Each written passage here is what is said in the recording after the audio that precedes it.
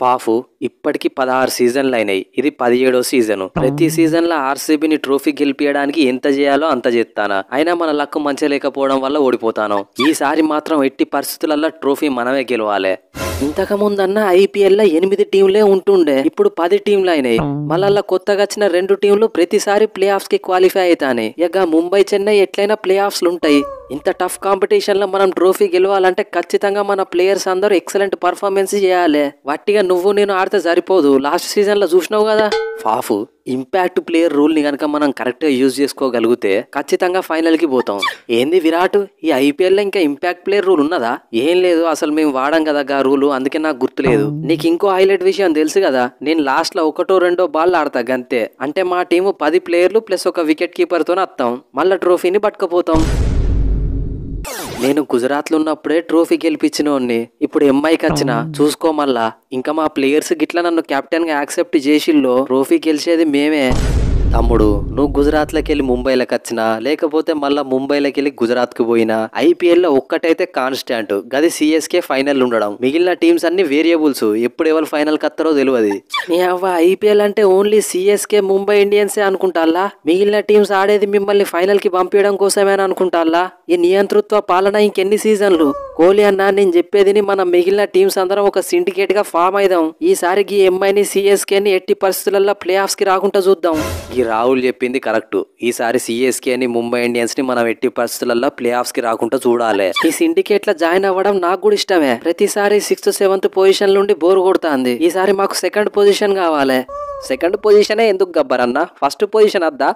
First position ఇంకెవ్వలదో. Second పొజిషనే కావాలి నాకు. తమ్ముళ్ళు ప్లాన్ అయితే మంచిగానే ఉన్నది. కానీ మనందరం కలిసి వాళ్ళిద్దరిని ప్లే ఆఫ్స్కి రాకుండా ఇట్లా చేయగలుగుతాం చెప్పు. ఐపీఎల్ అందరికి ఈక్వల్ ఛాన్సులు ఉంటాయి కదా. ఏ దానిలో ఉంది కోహ్లీ బ్రో? మనం మిగిలిన టీంలతో ఎట్లా అన్నా కానీ ఈ సిఎస్కే ఎంఐలతోనే హండ్రెడ్ పర్సెంట్ ఎఫోర్ట్ పెట్టి వాళ్ళని ఓడిస్తే వాళ్ళే క్వాలిఫై కాకుండా ఉంటారు ఫస్ట్ మ్యాచ్ మళ్ళీ మీకు సిఎస్కేతోనే పడ్డది. మన సిండికేట్కి శుభారంభం చేయాల్సింది మీరే. అంటే మనం ఎవరితో ఎట్లా అన్నా కానీ సిఎస్కే ఎంఐని మాత్రం ఖచ్చితంగా ఓడియాలంటారు. కానీ మనం అనగానే వాళ్ళు ఓడిపోరు కదా. దానికి తగ్గట్టు ప్లాన్ కూడా ఉండాలి కదా. కోహ్లీ అన్న మీ టీంలో నువ్వున్నావు. ఫాఫ్ డూప్లెసిస్ ఉన్నాడు. గ్లెన్ మ్యాక్స్వెల్ ఉన్నాడు. మీరు తలుచుకుంటే సిఎస్కే ఓడియలేరా? మనందరం గుర్తించాల్సింది ఏంటంటే ఐపీఎల్ ఉన్న ప్రతి టీంలో స్టార్ ప్లేయర్లు ఉంటారు. ఏ టీం ని ఏ టీం అయినా ఈజీగా ఓడియచ్చు. స్టార్టింగ్లో మనం సిఎస్కే ని ఎంఐని ఓడించుకుంటా పోయినామంటే వాళ్ళ కాన్ఫిడెన్స్ మీద దెబ్బ పడుతుంది. ఇక తర్వాత మనం మనం ప్లే ఆఫ్స్ ఆడుకొని ఎవరో ఒకరు ట్రోఫీ గెలవచ్చు ఎవలో ఒకరు గెలవడానికైతే గీ సిండికేట్లా నేను ఎందుకుంటావా మేమే గెలవాలి ఎట్లయినా.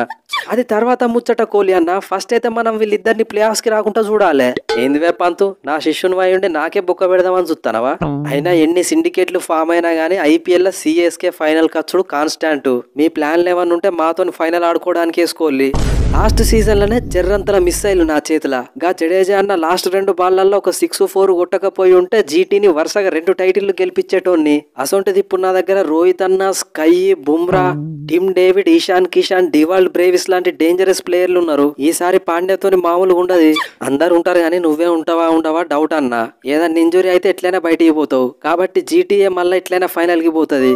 గిల్ తమ్ముడు నీ పొజిషన్ నీకు అర్థమవుతుందా నా పొజిషన్కి ఏమైంది? సూపర్ ఉన్నది. గుజరాత్ టైటాన్స్కి ఇంత యంగ్ ఏజ్లనే కెప్టెన్ కూడా అయినా. తమ్ముడు నువ్వు క్యాప్టెన్సీ మంచిగా చేయకపోయినావు అనుకో కేన్ విలియమ్స్ అన్ని క్యాప్టెన్ చేస్తారు. లేకపోతే రషీద్ ఖాన్ని క్యాప్టెన్ చేస్తారు. నువ్వు ఈ ఐపీఎల్ సీజన్లో రన్స్ కనుక చక్కగా కొట్టకపోయినావు అనుకో టీ ట్వంటీ వరల్డ్ కప్కి నిన్ను సెలెక్ట్ చేస్తారో చేయరో డౌటే. ఎందుకంటే ఎట్లయినా యాస్ విజయ్స్ వాళ్ళు రుతురాజ్ గైక్వాడ్ క్యాప్టెన్సీ ప్రెజర్ లేకుండా ఐపీఎల్లో దంచి కొడతారు.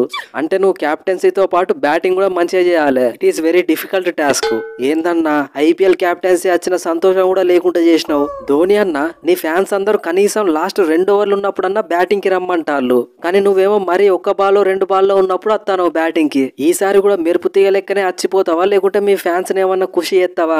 తమ్ముడు నేను లాస్ట్ రెండు ఓవర్లో మూడు ఓవర్లో ఉన్నప్పుడు బ్యాటింగ్ వచ్చింది అనుకో ఒక ఫోర్ రెండు సిక్స్లు కొట్టినా కానీ నా ఫ్యాన్స్ ఖుషి గారు అబ్బా ఇంకా కొడితే మంచిగా ఉండు కదా అనుకుంటారు. అదే నేను లాస్ట్ రెండు బాల్ ఉన్నప్పుడు వచ్చింది అనుకో ఉట్టిగా బ్యాట్కు బాల్ టచ్ అయినా కానీ నా ఫ్యాన్స్ ఖుషి అయిపోతుంది ఇవాళ ఒక సిక్స్ ఒక ఫోర్ పోయిందంటే ఫ్యాన్స్కు పూనకాలే.